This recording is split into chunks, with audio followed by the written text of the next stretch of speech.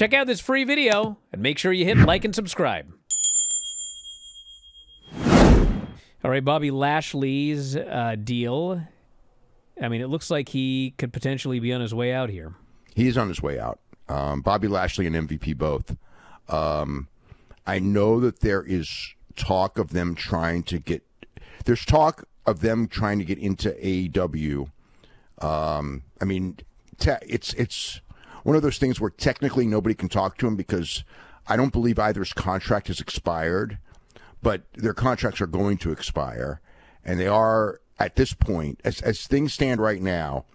Um, WWE is under the assumption that they are gone, and um, that they are going to try to revamp the Hurt business. I don't know if they'll use that name or not. I guess it depends on the ownership of the name. I think I saw MVP try to um, register to own the name, which would mean that they would maybe even try to use the name. But um, whatever it is, they want to get Shelton Benjamin, who's also a free agent, and revamp the group in AEW. Whether this happens or not, I mean, it depends on Tony Khan. But it's it's definitely something that is, um, I don't know, say under consideration. It's it's it's not a. I don't believe it's a done deal or anything like that, but it is something that is alive. But um, as of right now, um, Bobby Lashley and uh, MVP are both going to be gone from WWE when their contract expires, which is relatively soon. When was the last time we even saw MVP? MVP's only been doing uh, house shows as the manager. 'Cause I don't of, think uh, he's even been on TV in two years. Yeah, they never. Well, whatever. Whenever the last time Omos was on, he's his manager. Uh, God, when's the last time Omos was even on? Omos was on TV in a, in a battle royal once. I remember that, um, but he's rarely on. But Omos has been doing, you know, house shows and MVP was part of that act. You know, doing uh, you know promos in front of the crowd and everything like that. They were doing that every week. You know, I don't say every weekend, but most weekends until somewhat recently. I don't, you know, and there haven't been a lot of house shows lately. But when they were doing house shows, they were doing um, they were doing uh, Omos and uh, Akira Tozawa pretty regularly. So he was on those shows Okay, so Omos's last three appearances. on TV or, or These are just last three appearances. Well, on TV, yeah. He had the Andre the Giant Memorial Battle Royal, right. and then prior to that, it was the Royal Rumble. Yeah. Prior to that was SummerSlam, and his last like TV uh, and then Backlash.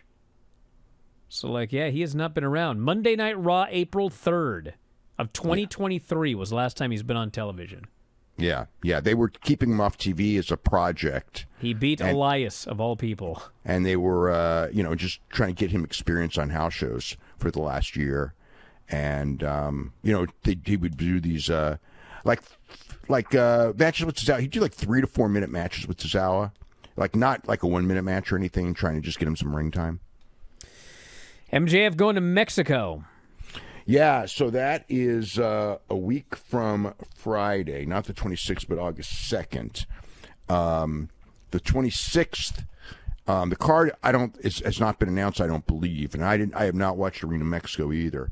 But um, the um, Pentagon Fenix and um, Pac are going to be on the July 26th show. The August 2nd show, MJF will be defending the title against the winner. They're having a tournament on Tuesday, and it's um, Templario, Flip Gordon, um, I think it's uh, Esfinge, and um, what's the other names here? Um, Rugido and Zandokan Jr., Stuka Jr., uh, Verno, and um, one other name that I am.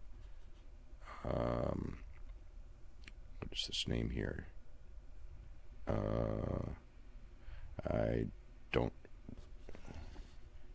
A Valiente. So um, it's kind of weird, you know. Usually they don't. They, you know, Templario will make a will be an would be an interesting opponent. I would say. I mean, Templario's awesome. He's like probably. I mean, he's the best guy in CMLL, really. I think right now. I mean, as far as just best frickin' worker, and he's just turned babyface, and um, does a lot of acrobatics, but very solid. Um, Flip, I don't see him doing Flip Gordon. I just don't see that match. Um, Valiente, veteran, don't see that. Esfinge, mm, maybe. Rugido and Zandokan, I don't feel they're ready, at that level. Um, Stuka Jr., he's good. He's good.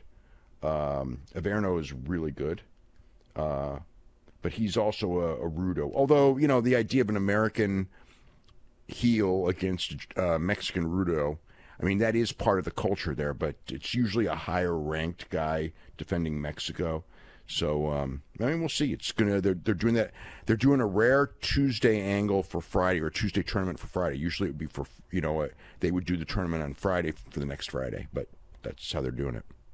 We did, in fact, by popular demand, watch Ready to Rumble. The champion is some fat loser. Yeah, he's a completely talentless, no athletic ability, can't wrestle, it, broke bum that walked out on his wife and kid. But he was over. The world champion. He and was in the he, movie. The well, yeah, but that's is, a microcosm of wrestling. Sadly, yes. He feels so bad about drinking this entire slushy that cost a dollar twenty six, and he he sticks his finger in his asshole, and walks up to the clerk. Lancey Lance is dying. How could the movie be so bad? I'm not going to fault the man for that. Of all the things in the movie, I thought okay? for sure you were going to say you'd done this before. There's a reason I'm not going to fault the man for that.